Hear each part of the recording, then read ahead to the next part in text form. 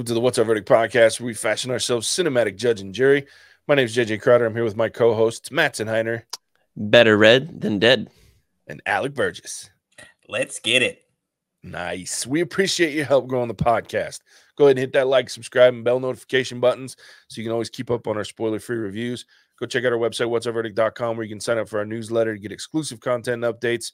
And then you can interact with us there and pick up some merch. Question we always ask if you ever find yourself wondering if you should spend the time, money, or both on a movie. To help with that question, each week we could put a movie on trial, discuss the facts, pass judgment, and let you know our verdict. Today we're reviewing Uncharted. It was released February 18th, 2022. It was written by Rafe Judkins and Art Marcum. It's directed by Ruben Fleischer. It stars Tom Holland, Mark Wahlberg, Sophia Ali, Tati Gabrielle, Rudy Pankow, Steve Waddington, and Antonio Banderas. Street smart Nathan Drake is recruited by seasoned treasure hunter Victor Sully Sullivan to recover a fortune amassed by Ferdinand Magellan and lost 500 years ago after being hidden from the house of Moncada. This is our spoiler free review. We'll rate this movie on a three tiered scale. Worth it, meaning you should watch this movie as soon as possible. Stream it, meaning wait until you can watch for free. Finally, not impressed, meaning you shouldn't watch this movie at all. You can listen to our deep dive review on Uncharted on Monday, February 28th. So, with that, let's dive into spoiler free. Alec, why don't you kick us off on the spoiler free review of Uncharted, my friend? Happy to. Uh, like I said just a few minutes ago, while we are talking before we started recording, uh, I'm four for four on the podcast. This movie was fantastic. Um, I'm not a huge Uncharted fan, uh, but my girlfriend is, so she actually played all of the games leading up to the movie. So I didn't mm. go in completely, uh, you know, new to Uncharted. I knew a little bit of what was going on, but I love this movie. I think it's a worth it. Um, this movie to me was everything that uh, I think it was Red Notice with The Rock and Ryan Reynolds could have been. This was this was the correct way to do that movie. Um, and Tom Holland really kind of stepped out of the Marvel um, shadow that he's been in and really stood on his own two feet. And I I I was really impressed. I really enjoyed this movie. Um, and I'm gonna be going to back to see it again probably tomorrow. Nice. Well, sweet. We'll kick it off with a worth it. I like it. All right, Matson. Yeah, I think for me this is a case of low expectations meet um, a movie that has exceeded them in, in a really good way. I, I and I was talking to JJ a lot about this movie, and I just I played Uncharted. I haven't played all of them. I played some of them.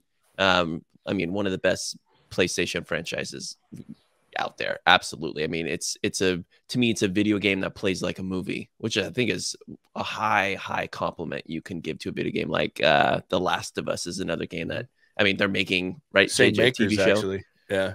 Same yeah. same Naughty Dog made both. So well, Naughty Dog doing big do I mean Crash Bandicoot stories. Yeah.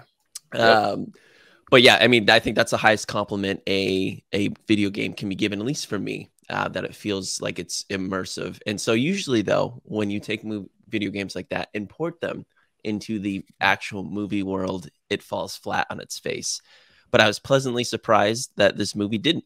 I was entertained, and I will say, for me, some of the plot and the suspension of disbelief and things, and like, oh, that was convenient. There was some plot gaps that we'll get into personally that if the performances of Tom Holland, and Mark Wahlberg, the chemistry that they had wasn't as strong, I think this movie would, would have just been a very generic kind of like ho hum, like yeah, like maybe go see it if you love Uncharted, give it some fan service. But it wasn't that. The chemistry from those two main actors was palpable. Uh, their jokes to me, and I'm not someone.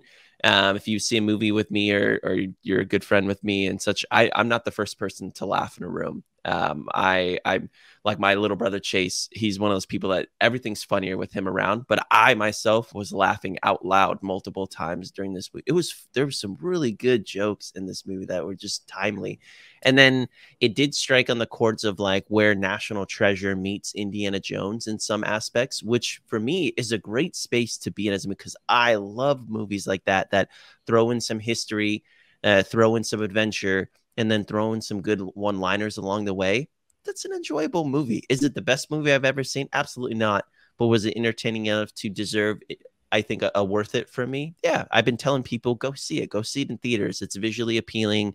It's fun to see the chemistry on screen. And I left being happy. I was surprised and I liked it. Nice. Couple of worth it.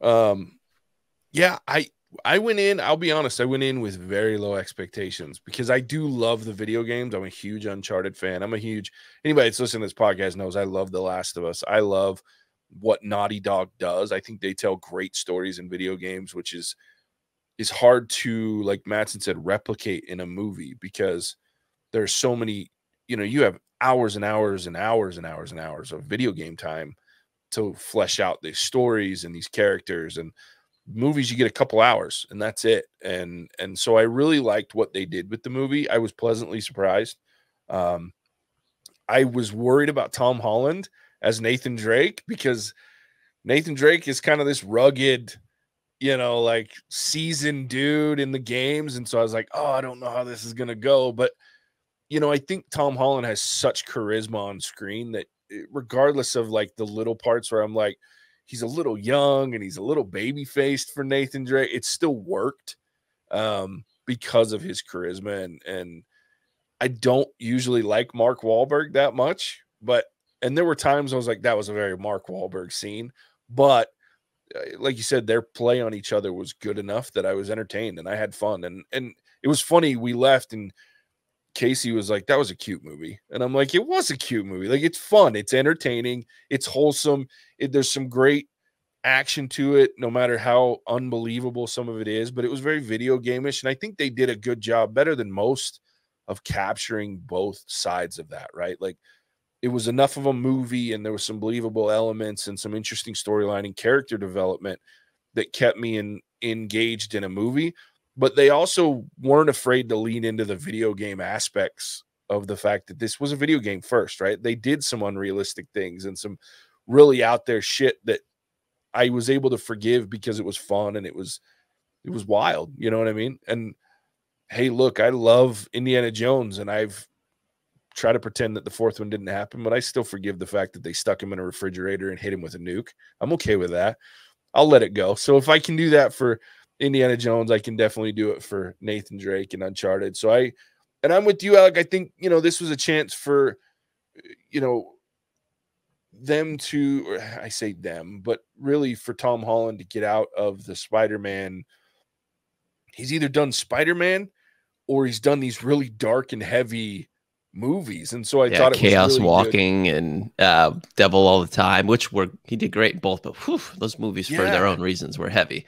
Mm-hmm. And Cherry, like he did the movie Cherry on Apple Plus, like he's done some really hard stuff. So I was really impressed. Like it was just lighthearted, but there was still enough, and it wasn't Spider Man, which I appreciated. So um, I, I like Tom Holland a lot. So I was really excited. So I'm going to give it a worth it. I'm probably on the low end of worth it. Like I could have been convinced on a stream it just because I mean it is it, it is a goofy movie, but I I was entertained, so I can't say that it's not worth going and seeing because I think it is. And in theaters, there's some spectacle that it's going to look better on a movie screen and sound better in a movie theater than it will in your house. And I can say that because I have small movie theater in my house, basically. So I think part of it is JJ with the AMC, the AMC membership I have, but also just the lack of good movies that we've seen yeah. in theaters. For for what we've seen in theaters, this was a movie I was happy to have seen in a movie theater. Where a, I mean, we just talked about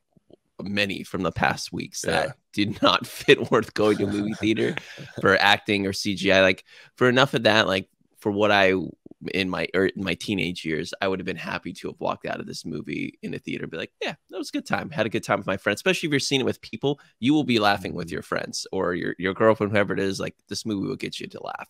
Yeah, it's a good one.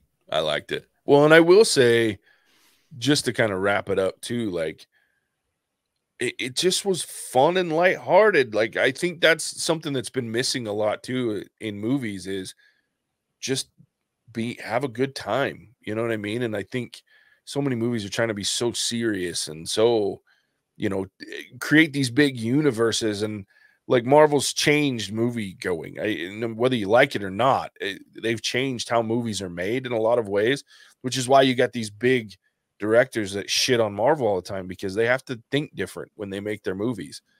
And this one does what it sets up a universe that I'm okay with even you know at the end you have the fact that I won't spoil it, but there's some big facts that show up in the in the credits, and so I mean, it's it sets things up enough that I think it fits the mold of what we're looking for. But it was just fun, and I look forward to having fun. So I've been sad that critics have been shitting on this movie, and I'm like, deal with it. It, it wasn't meant to be an Oscar-winning movie. This was meant to be entertainment, and I think even we, Matt's and I, for sure, I'm sure Alec, as you've listened to us so many times, we sometimes forget that movies are supposed to be entertaining. We don't always have to shit on them because they don't meet a certain standard of this, that, or the other. And I had well, fun I think, watching this movie.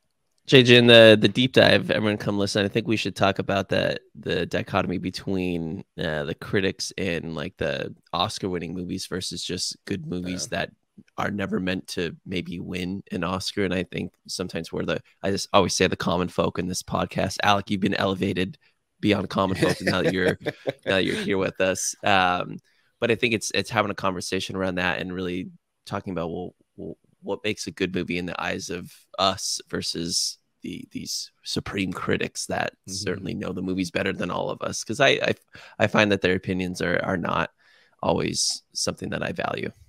Yeah, I agree.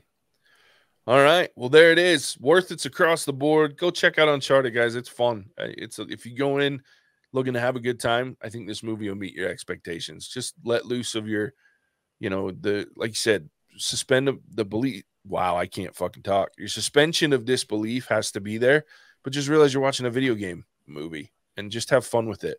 Enjoy the the on-screen antics and and and the charisma that's there because it's all over the place. Like everybody. And there's I, we'll talk about Antonio Banderas in the deep dive. I can't talk about him in this because there's big spoilers, but man, like even he was so fun to watch. And I love Antonio Banderas, but he was great in this movie. So until he wasn't. so we'll talk about that. All right. So with that, Matt, so tell everybody where they can find us. Yeah, check us out on social media, especially on Facebook and Instagram, whatsourverdict.com to see what's upcoming. Um, some some big movies upcoming, especially Batman, we are excited about.